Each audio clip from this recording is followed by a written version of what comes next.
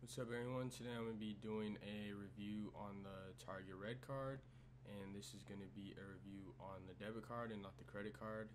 Uh, the credit card is not that great. I wouldn't recommend it. Um, there's a lot better cards but for the debit card it's actually pretty good.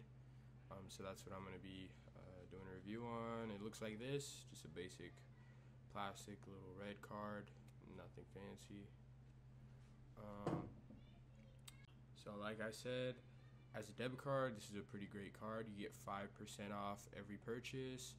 Um, so if you're someone that shops at Target a lot, 5% is great. It really adds up. You also get uh, free shipping on most items at Target.com, which is especially helpful uh, right now if you don't want to go in store and pick it up.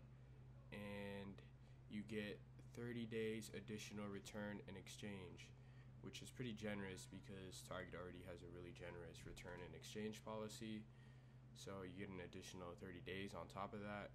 And if you use hotels.com or if you book hotels on hotels.com, you get 10% off on that as well. I'd also recommend waiting for a bonus on this card um, because I remember when it came out initially, there wasn't any sign up bonus. And then there was a sign up bonus and it was like $25. I think that's when I got it. And then right after that, the sign up bonus increased to, I believe, $40.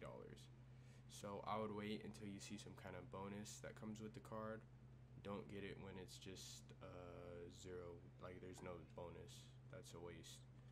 Um, they normally do have like promotions going on, so I would definitely wait until one of those comes along to sign up for the card yeah, it's a card I'd recommend as a debit card. If you shop at Target, I shop at Target pretty frequently, um, so it's helpful to have this card to save 5% off for a relatively super easy application that doesn't take long to receive, and you get a bonus. So definitely recommend this card. Check it out if you shop at Target.